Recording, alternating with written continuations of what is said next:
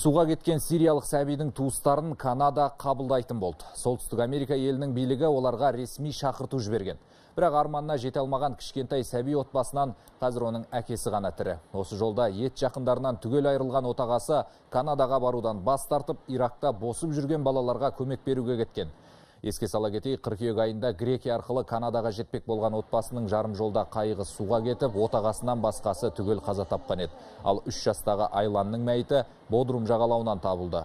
Осы оқиғадан кейін бүкіл әлем мигранттардың жағдайын алаңдап, мән бере бастады. Ал Канада тұрғындары келімсектерді қолдап шыққан болатын.